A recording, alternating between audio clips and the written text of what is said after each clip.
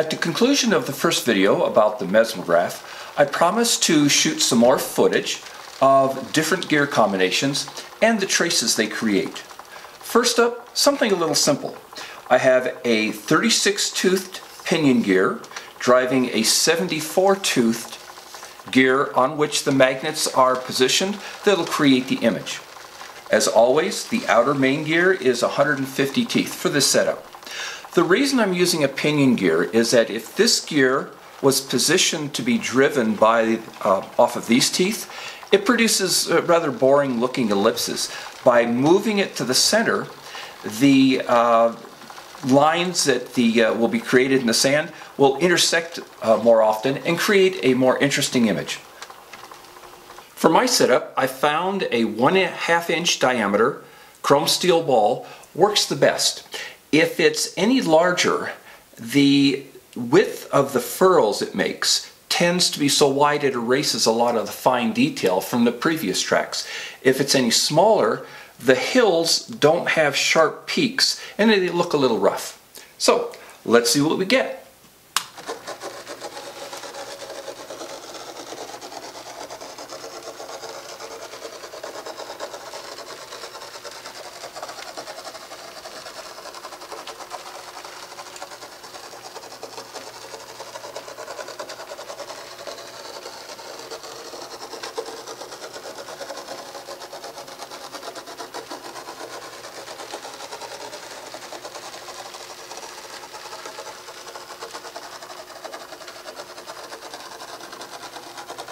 Well, this looks like it could be interesting. Let's fire it up to uh, 64 times normal speed and see how it develops.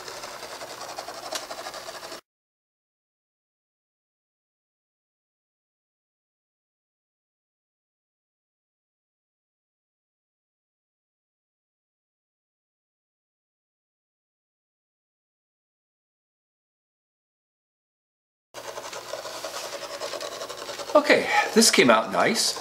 Now what I'm going to do is make a small change to the gears inside and see how it affects the image.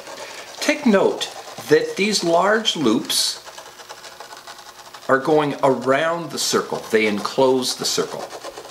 What I'm going to do is move this gear closer to the outside but I'm still having it driven by the pinion gear. Let's see what this does. And here we go.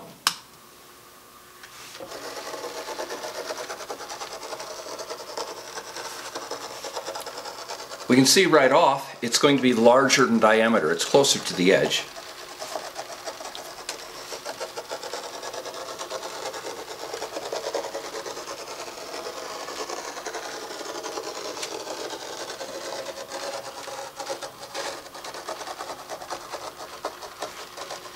And that the loops aren't enclosing the center.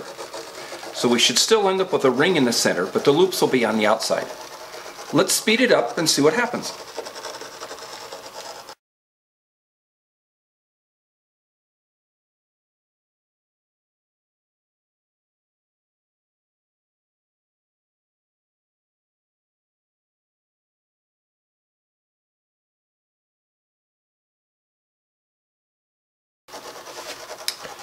And that's it.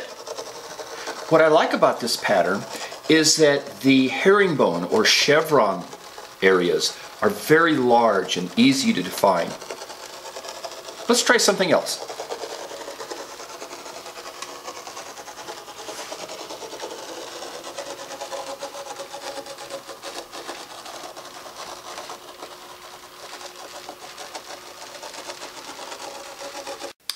The pattern the mesmergraph makes is determined not only by the ratio of the uh, number of teeth in the drive gear to the main gear, the position of the magnet along the arm, whether the uh, the fixed pivot is on the gear or on uh, this position, but also by the angle the arm makes relative to the diameter of the primary gear. For example, right now, the center of the turntable is right here and the arm moves pretty much left or right over the, uh, the, the center pivot point. If we move this this way, now the arm's going to be swinging back and forth off to one side and it can have a significant effect on what the pattern looks like. Let's see what this does and then we'll change to uh, this side and we'll see how it changes. If the lines appear much sharper than they have in the past, it's because I've switched to a 220 grit aluminum oxide powder, which is much smaller than the fine sand and produces better lines.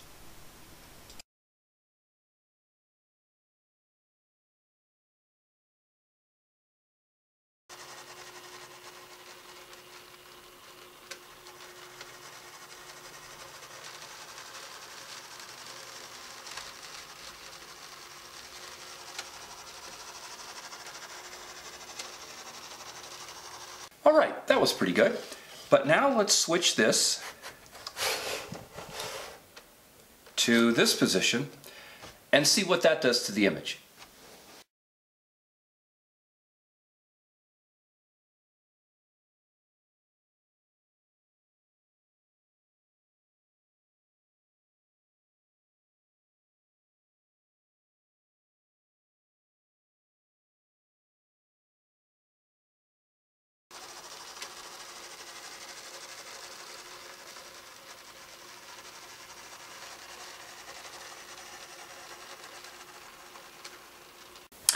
For the final image, I have a guessing game for you.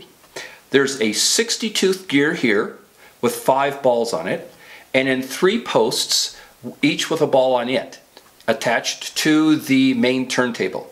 Can you guess what shape this, this is going to make? Let's see if you got it right.